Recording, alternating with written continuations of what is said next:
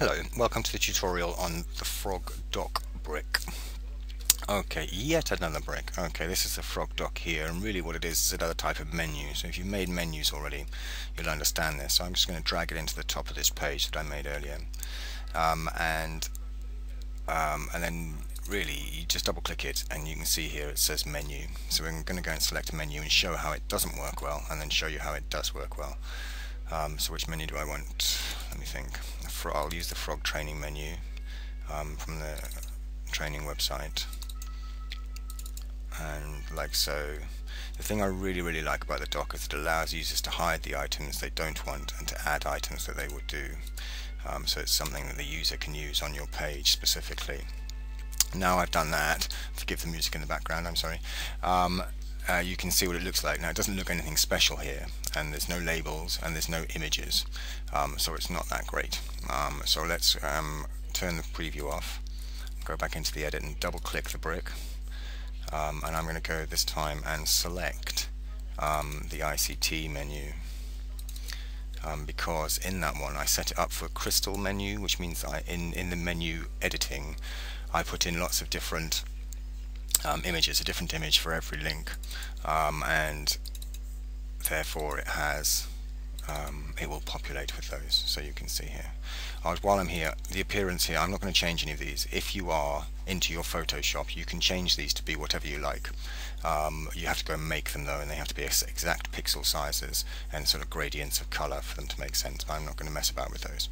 So I click on OK and preview it now. And you can see um, this all looks quite dinky. However it hasn't got any labels on it. Um, but what users will be able to do is click on this cog at the end. And we don't want that. Go away. What's that doing there? Hang on a second. Let me go and fix that. It seems as this PDF is not changing. It's leaving that thing there. So what I'm going to do is I'm going to go and delete this lovely um, brick here so that that PDF gets out of the way um, and then I can preview it and show you how this can be edited by students. So these are all the things on the ICT menu you see. So what the students can do is um, go and delete all of the things that aren't relevant to them, say they're in the fifth form and they have no interest in any of these, they might leave yeah, they'd leave the AP on so they could read it later. Um, so they might leave clubs on, touch typing, but not the software or the tools directory or whatever it might be. So the menu becomes a very different thing. And then, so we click on OK, and you can see it's much smaller now.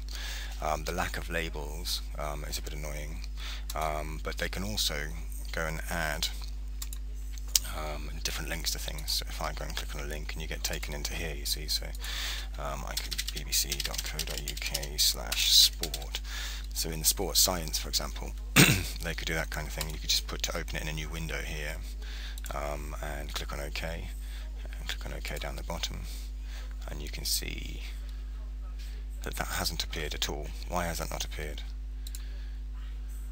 Oh, because I have to give it a name. Um, BBC and I won't bother giving it an icon create item. There it is. Click on OK. So now this is just a link which will open up a new page. You can imagine if you're wanting your students to go back to things regularly, they come onto your home page and they have their own dock and you've told them to set up their own links and things to that dock. Um, that might be really, really useful and really, really good. Equally, the students can put shortcuts to their favourite things which they can turn on and off really, really quickly from inside a frog. You know, them's the breaks. That's classroom management. Um, so there it is, the frog dock. You have to set the menu up um, quite carefully. Publish and exit, and then you can just go and have a look at the page, and you can see it looks like that. Remembers what you put on and off.